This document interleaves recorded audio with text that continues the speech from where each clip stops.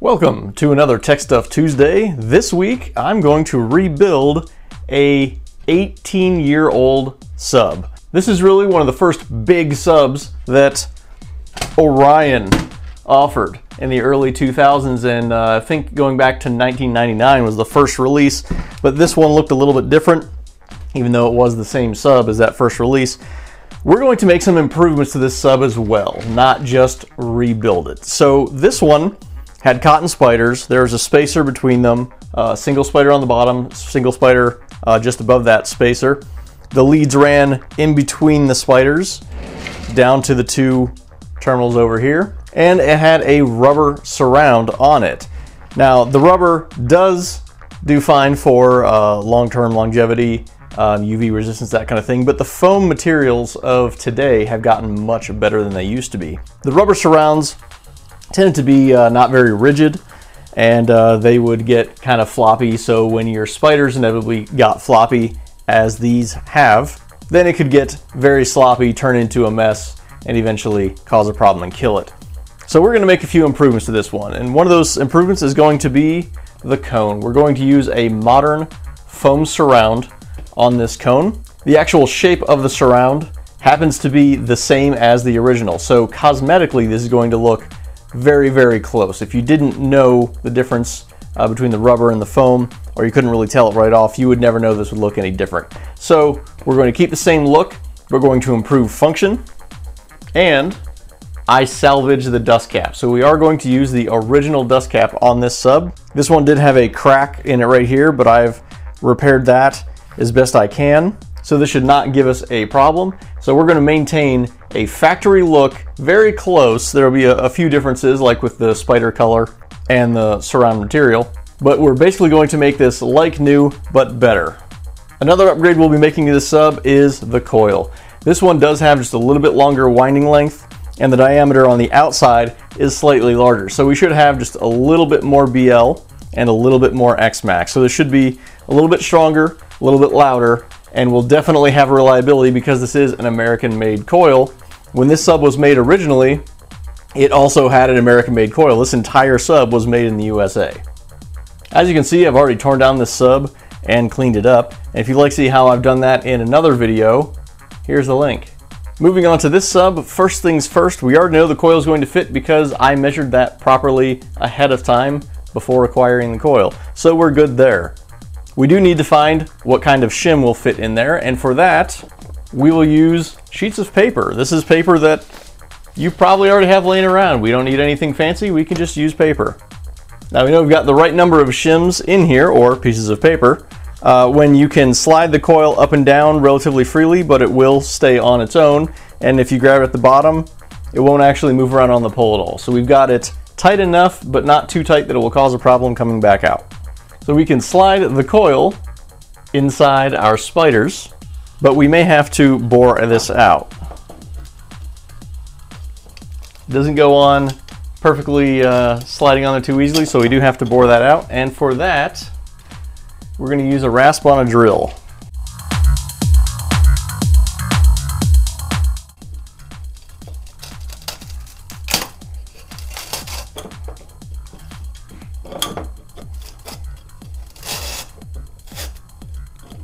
Now I've got this coil marked right here, and the purpose for that mark is that should be right where the top of the top plate is. The center of the top plate is going to be halfway down the coil. So I've taken half that top plate, gone above that, and that's where the top would be if we can actually see this line at the top of the motor. As you can tell from this, we don't have any vents. So I can't do that. So we have to do a little bit of guesswork here to get as close as possible, kind of judging uh, where we can see a gap uh, from pushing down here, you know, maybe this high. So we want to match the gap that we see here with the gap that we see down here. There are some other ways you can go about doing that. It's a lot easier if you have a proper former height, which we don't have. I already know this is way too long and we're gonna have to cut it. So what I'm gonna do here is I've got the spiders pushed way down here at the bottom and I'm gonna push the coil back through the spiders so it will stay exactly where we need to. We'll kind of figure out the depth and then I can mark the former where it needs to be cut.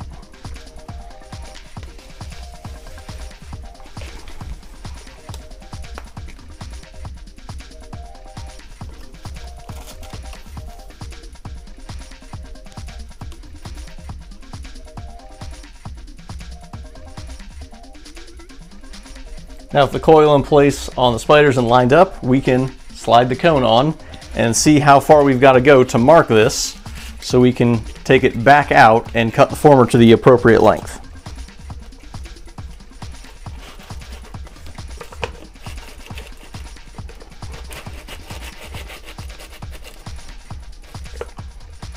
You want to make sure when you're pushing the cone down that you don't move the spider at all because again we have not glued this in yet. Now with the cone in place we can mark this and we have to leave enough space on top to get a glue joint in but not so much that we can clear this dust cap because it is inverted. It's to be a very short height from the top of the cone to where we have room to glue on. Now with the coil marked I wrap this tape around it so I have a nice clean straight line all the way to mark it for when I put the saw to it and make sure that we're staying straight. I've also pulled the leads back because they did end up up here and we don't want to cut through those. So I've pulled them back all the way back to here so we make this clean cut right across here and then our former will be the correct length. Now the coil is cut to the appropriate length we can get everything back together and if you were wondering what I used to cut that it was one of these. It's an air saw with a fine tooth blade. Makes a nice clean cut as long as you hold your hand straight and follow the line. I've got the coil inside the spider and I've slid it in and I put a glue joint across the bottom so that's going to ensure that that stays in place when we put the cone on. These leads are round and they're kind of thick where I would normally use a flat lead that will slide in between the former and cone.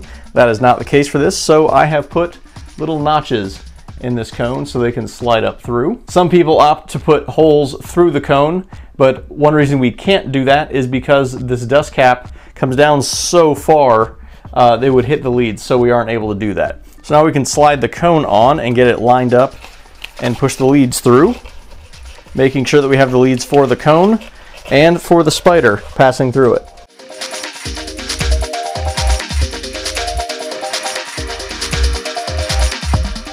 Now, as you can see here, we do not have much of a lip down here for us to glue onto, and it has to be that way because of how the dust cap is. We want to make sure that it doesn't smack it and it does come down very low. So we don't have very much. We can only put a small amount of glue in here.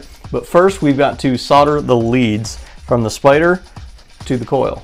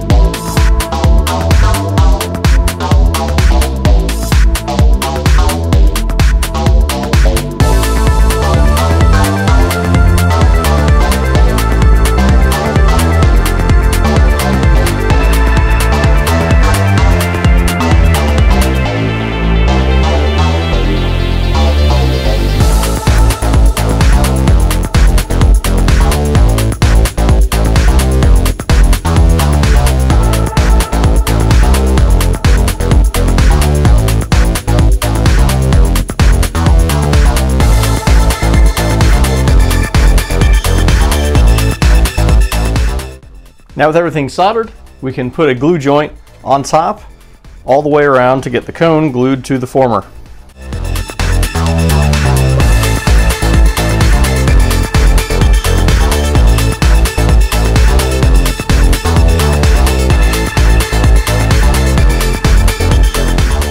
With the top joint glued, now we can do the joint between the cone and the spider because on this particular example, the cone does not go all the way down. That was just not something we get worked out.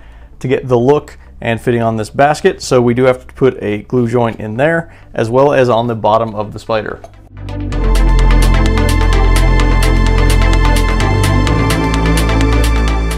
Now we've got the middle joint glued, the bottom glued, the top glued, and this is basically a drop-in. So from here, we can drop it in here. With the shim in place, we want to put glue where the spiders will go on the basket, but not the surround. And I'll show you why in a second. So we're going to get this glued in place.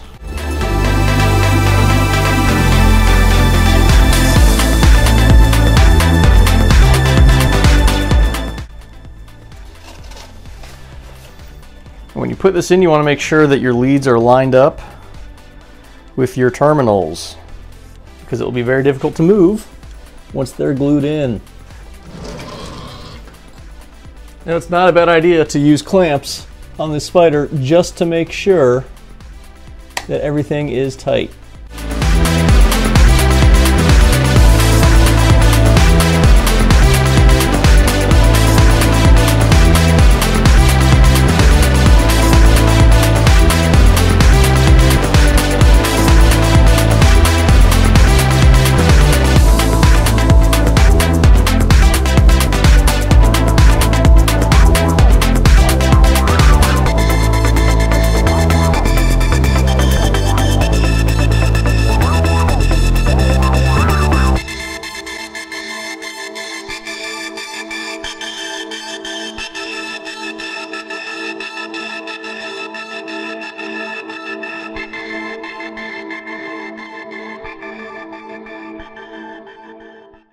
Now we've got this glued in place, I've taken the clamps off after spraying it with accelerator.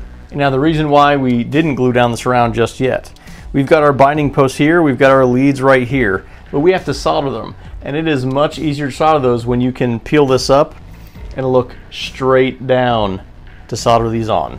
So that's what we're gonna do next.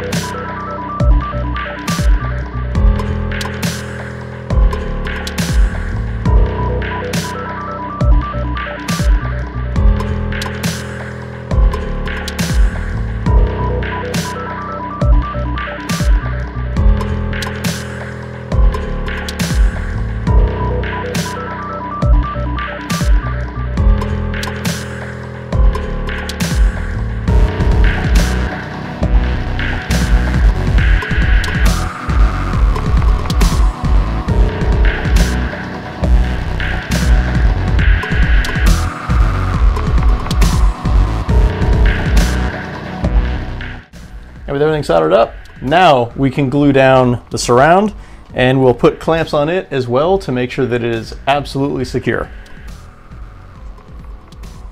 For this I'll be using E6000.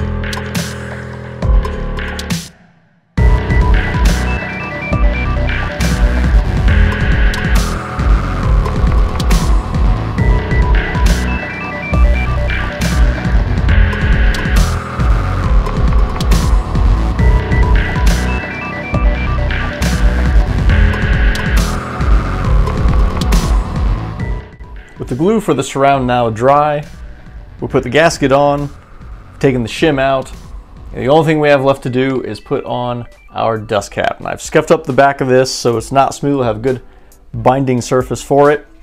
We don't have a ridge in this cone, so we're gonna have to be very close on our judgment. Fortunately, this is a pretty wide dust cap and it's pretty close to the edge of the surround. So I can eyeball this pretty well and we can go back and measure if we need to to make sure it's precise.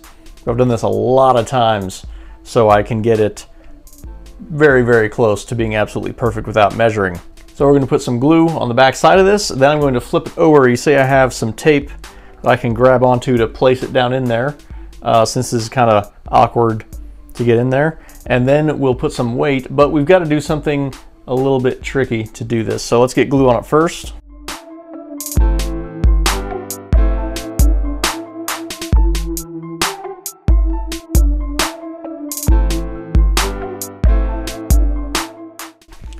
Outside edge we want to apply pressure on, but it's very difficult to do that with any weight. So I've got this ring that happens to be the same diameter as the outside edge of this dust cap.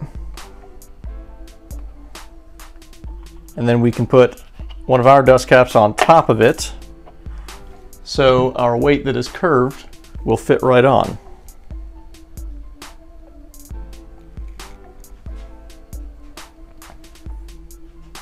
Now we just have to let this sit for about an hour and our dust cap will be on and we will have a complete working sub that we can test. And here we have our finished product.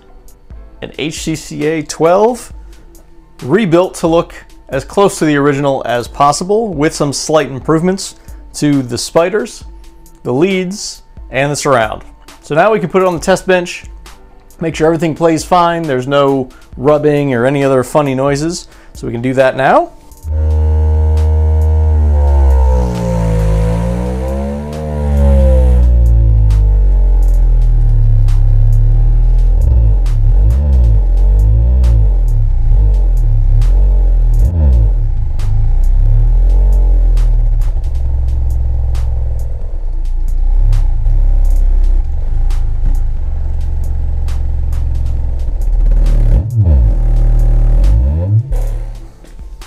There we have it. Everything is fine. No rubs, no funny noises, no pops. And this will be ready for the customer after I build another one just like it. If you enjoy videos like these, comment below and let me know. If you have suggestions for future videos, comment those below as well. One question I get asked a lot that I'll go ahead and answer, can I just build a Recone for your fill in the blank whatever sub that isn't ours?